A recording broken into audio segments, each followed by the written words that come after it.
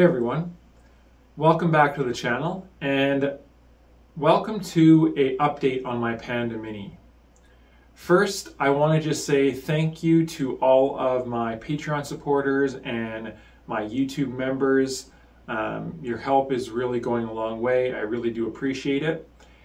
I do have uh, Fusion 360 tutorials now on my Patreon and also on my YouTube members section on YouTube. So if you do want to support the channel and maybe you're looking for some Fusion tutorials, I do have four episodes published, like I say, on Patreon or on YouTube members section. So join either one of those if you're interested. And uh, I really, really appreciate all the support.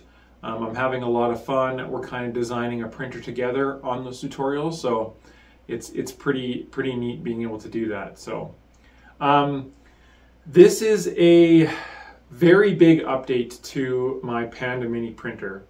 I have since changed the name to RC150. Um, I didn't really want to be confusing it with um, Big Tree Tech's Panda line of products and that type of thing, and it was just really easy for me to change the name. So, like I say, the new name is RC150. Um, I have increased the frame of this printer by 50 millimeters on X, Y, and Z just to give the full build area. So this is a full 150 by 150 uh, build area printer now. I've completely boxed the frame in. It has 2020 on the bottom and the top now. There is much less material required when printing the bottom uh, Panda Mini before, there was quite a bit of material um, to actually print the base because it was a little bit structural. All that's gone. I have completely redesigned the Z. So here's a kind of up close look at the Z for this printer. It's pretty interesting. Basically, it is a quad belt. So we have a belt on each corner of the bed. However, it only uses two motors. And I'm doing that basically, I'm using a 3 to 1 gear reduction on the bottom here. And then this 3 to 1 gear reduction actually has two pulleys in here. One pulley runs to the front and one pulley runs to the back. So essentially, when you're building this printer, you would have those two pulleys loose. You will level the bed frame and then you'll lock the pulleys in. That way this bed frame cannot tilt anymore. You get a nice level bed going all the way up and down and you don't need to use larger main boards or anything like that. This will fully support a Big Tree Tech Pico and a SKR Mini E3 because they have two Z ports. So one stepper is driver is controlling both of these Z motors and it works really, really well.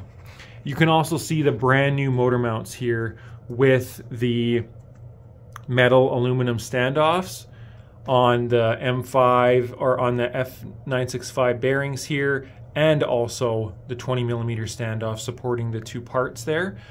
I am using a add-on homing block here because I am using a cartographer probe and I just wanted to make sure that my cartographer probe doesn't hit my motor.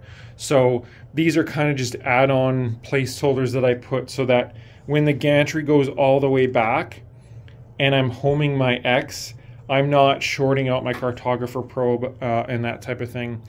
You definitely don't have to run a probe on this printer. Like I say, in this version, it's a fixed bed. We have bed leveling screws on this, three of them.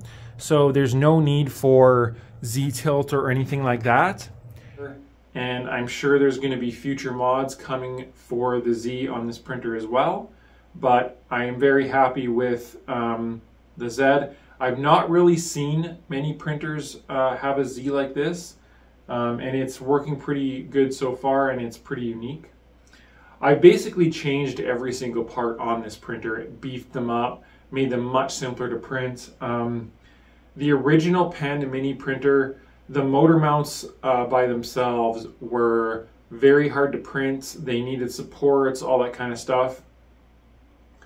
The motor mounts on this printer are so simple. Um, they're two pieces. They're very, very easy to print. They now use metal standoffs. Very, very happy with how they turned out. It's a night and day difference from the Panda Mini printer. Um, tensioning is now on the front of the printer, as you can see with the M3 uh, bolts. It's all gone from the back and it's gone from the tool head as well. So tensioning is much cleaner, easier to use, easier to get at, all that kind of stuff. I am still working on side panels for this printer, so you don't see any side panels on. And then another big update I did to this printer is I designed a new tool head for the printer. It uses a 5015 cooling fan. I definitely want to do this for ABS printing.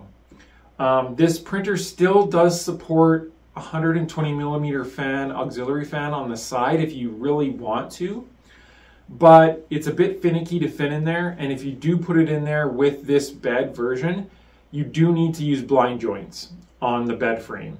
There's no room for brackets to hold the 2020 frame together for the Z. I also highly recommend people use blind joints for the frame as well. I'm trying to phase out these corner brackets on my designs. I just want to make the bill of materials simpler and I want to get rid of all this hardware. And the big benefit to blind joints besides that is it will tighten the frame in and make it much more square, I think, and much more easier to build.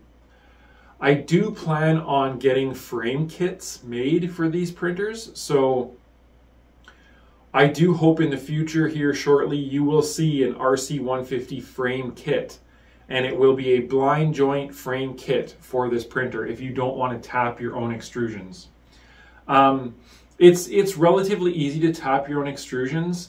Um, you know, just an M5 tap for a drill and some cutting oil and you'll be kind of good to go there. The frame still uses standard sizes, so you don't have to cut your own extrusions or anything like that.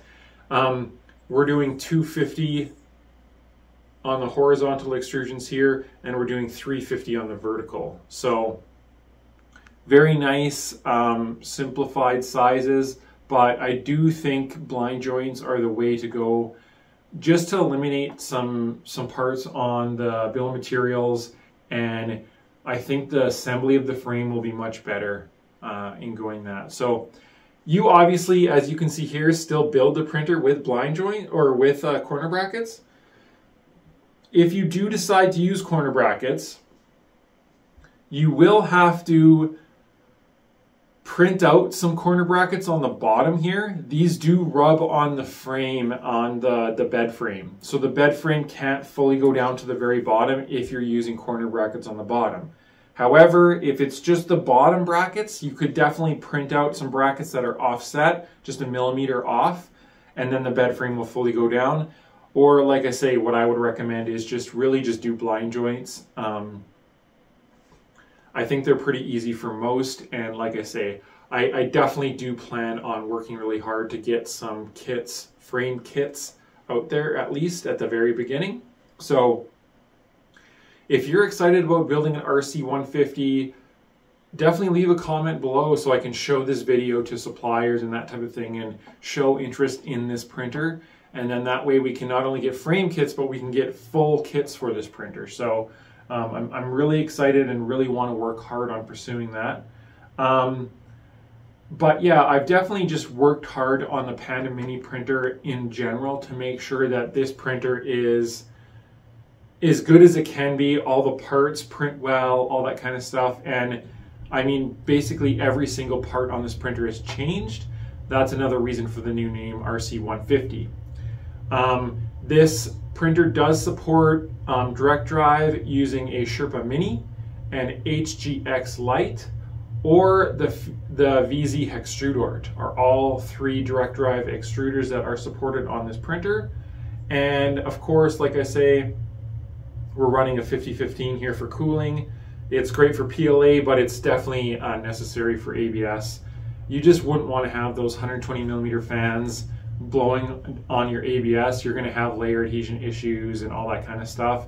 And I knew I had to do something for ABS printing in the future. So I do plan on doing some comparisons between this printer and a Voron V0. There's going to be a few videos coming out comparing the two printers, um, just to give you all options and which direction you might want to go down with which whatever printer you're building. I'm going to compare it to the Rook 2020. I'm going to compare it to the RC150 because these are kind of similar printers, um, especially the RC150 being it can print ABS.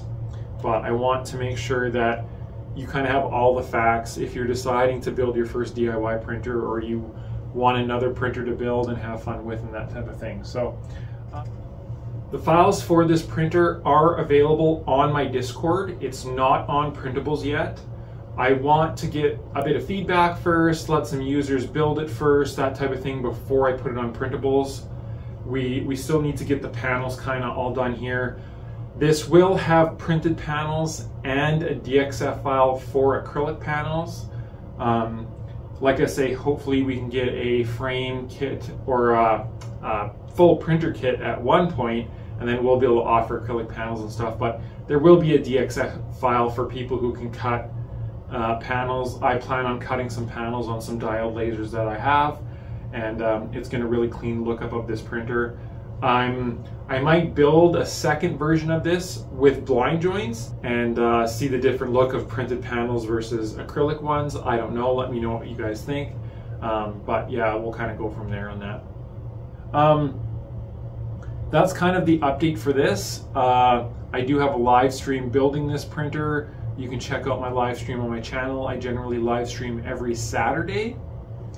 I would um, really encourage everyone to you know check those out if, if they're interested in kind of more how this printer was getting assembled and that type of thing.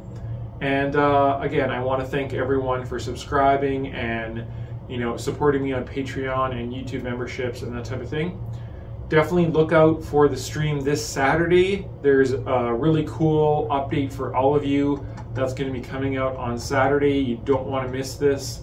Um, it's going to be pretty awesome stream. So check that out. I'll have that stream here um, scheduled pretty soon, so you'll see it in your notifications. Definitely make sure you're subscribed and hit that notification bell for more. Thanks, everybody.